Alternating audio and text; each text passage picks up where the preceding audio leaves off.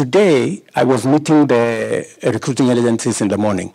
They've been having very serious problems of accessing this market because we didn't have an agreement. Today, we are using the agreement to make it easy. First, to make sure that we have mutual recognition of skills. Second, we have elimination of unnecessary barriers for those people who have an opportunity to work here. Three, it creates a seamless connection between the opportunities in Germany, that are many, and the millions of young people in Kenya that are looking for those opportunities. This agreement facilitates those who are looking for opportunities. And nobody will be forced to, to, to come to Germany. It is a volunteer. When you're looking for a job, you, you look for a job in a place where you are comfortable uh, to work.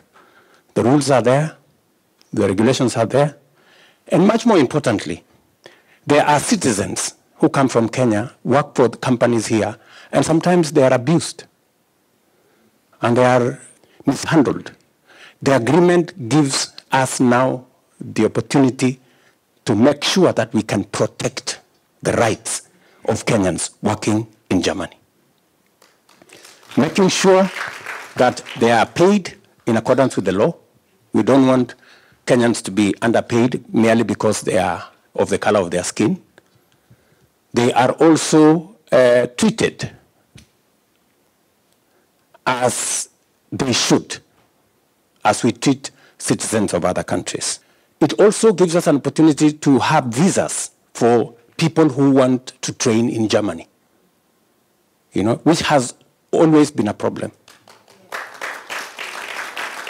And secondly, it also gives us an opportunity to, even when you have trained, it now gives you an opportunity for you to have industrial attachment, visa for you to stay here, to make sure that you have uh, an opportunity for industrial attachment. And then it also gives you an opportunity once you have a company that now wants to hire you, it also makes sure that you have the legal framework for you to work here with proper uh, documentation.